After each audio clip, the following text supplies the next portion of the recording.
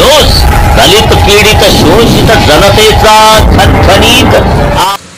राज्याचे उपमुख्यमंत्री देवेंद्र फडणवीस भाजपा प्रदेशाध्यक्ष आमदार चंद्रशेखर बावनकुळे आमदार टेकचंद सावरकर आमदार प्रवीण दटके यांच्या प्रमुख उपस्थितीमध्ये काँग्रेसमधून निलंबित झालेले माजी आमदार आशिष देशमुख यांच्या भाजपामध्ये पुनर्प्रवेश कोराड येथील नैवेद्यम नॉर्थ स्टार हॉटेलमध्ये आज संपन्न झाला. यावेळी भाजपा नागपूर जिल्हा अध्यक्ष अरविंद गजभिये माजी अध्यक्ष डॉक्टर राजीव पोद्दार भाजपा नेते माजी आमदार डॉक्टर मिलिंद माने माजी आमदार सुधीर पारवे अशोक धोटे अशोक मानकर सुधाकर कोहळे माजी आमदार तसेच अजय बोडारे मनोज चौरे राजेश रंगारी नरेंद्र धानोले हेही या प्रसंगी उपस्थित होते. यावेळी बोलताना आशिष देशमुख म्हणाले की मी दोन हजार चोवीसच्या लोकसभा किंवा विधानसभा निवडणुकीमध्ये उभा राहणार नाही. मला कोणतीही निवडणुकीची तिकीट पाहिजे नाही.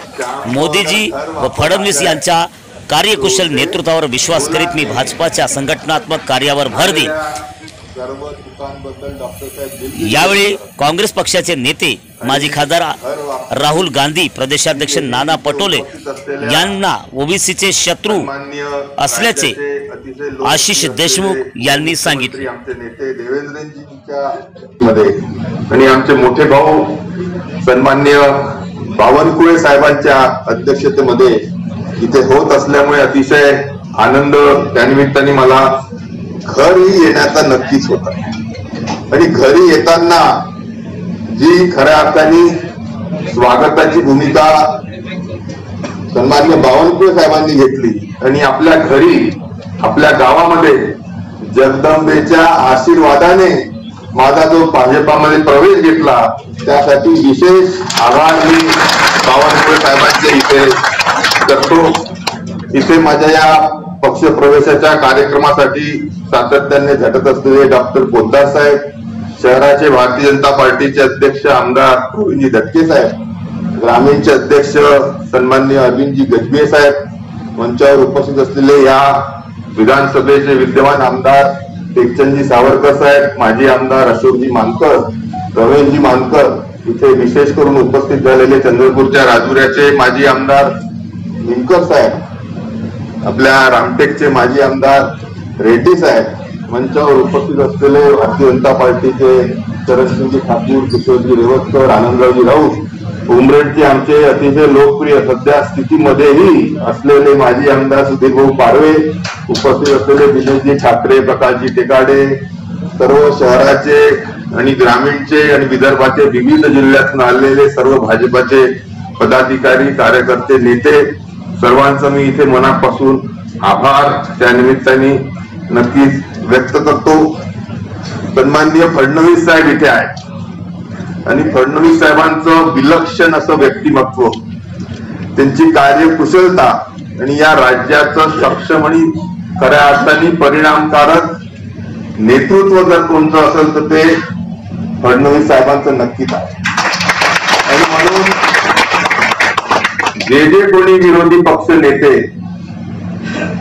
हे त्यांच्यासोबत त्यांनी काम केलं.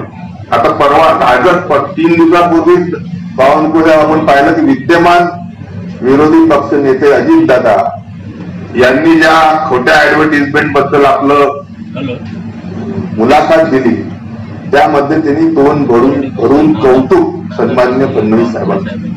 विरोधी पक्ष नेता असून जे खरं आहे ते खरं बोलण्याचं धाडस त्या निमित्ताने अजितदादांनी केलं. त्यासाठी मी त्यांचं इथे अभिनंदन करतो.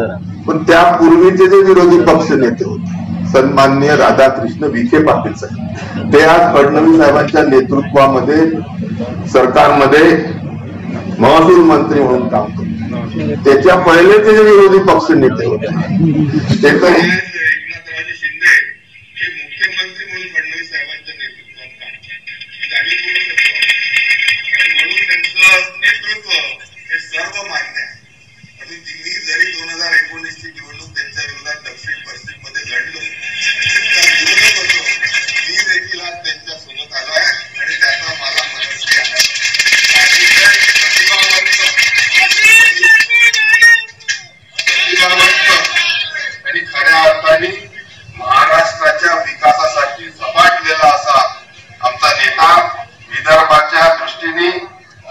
ठिकाणी अमुक लागलं विकासात्मक बदल करणारा आमचा नेता त्याच्या नेतृत्वामध्ये आज मी भारतीय जनता पार्टीमध्ये प्रवेश देतोय सन्माननीय बावनकुळे साहेबांसारखा अविरत काम करणार.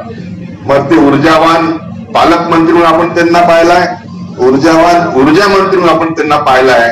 आणि आज त्यांच्या नेतृत्वामध्ये महाराष्ट्रामध्ये खऱ्या अर्थाने भाजपा ही गली गलीपर्यंत नाही तर घरा घरापर्यंत पोहोचते आहे. म्हणून त्यांच्या देखील नेतृत्वामध्ये मी इथे प्रवेश करतोय. त्याचा मला आनंद आहे. कालच मी गडकरी साहेबांना भेटलो.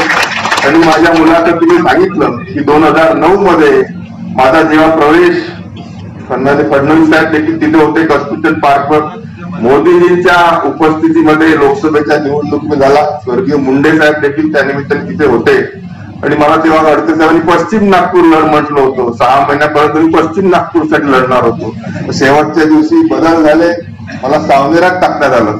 पण बारा तेरा दिवसाच्या कमी कालावधीमध्ये फार मोठी साथ सावनेर परमेश्वरच्या भारतीय जनता पार्टी हेतु आप हमारे चैनल के मुख्य संपादक श्री सुनील सावे से नीचे दिए गए मोबाइल नंबर पर संपर्क कर सकते हैं। अगर आपको यह खबर अच्छी लगे तो प्लीज लाइक करें शेयर करें। और हमारे चैनल